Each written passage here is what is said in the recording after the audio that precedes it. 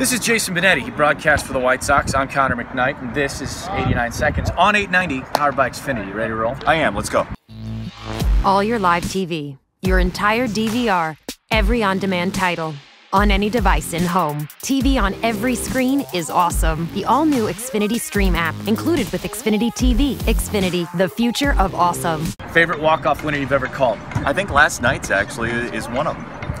Best walk-off winner you've ever seen in not ba- baseball? Oh boy! you do a lot of sports. Not baseball. I did a basketball game. Tulane hits a half-court buzzer beater on. Uh, it was some. It was Valentine's Day actually. Best Mother's Day memory sticking with the holidays? Uh, well, I think last year my mom came to the ballpark and got to watch me do what I what I do.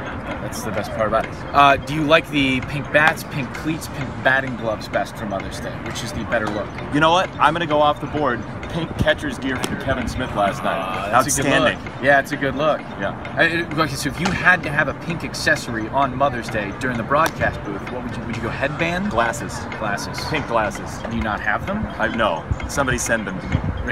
Now. this is this is good. We're Are soliciting already for. purple, I think they're purple actually. I got these. More questions. We don't Okay, have more questions. time. Sorry. Best city to go to in baseball for something other than the baseball game.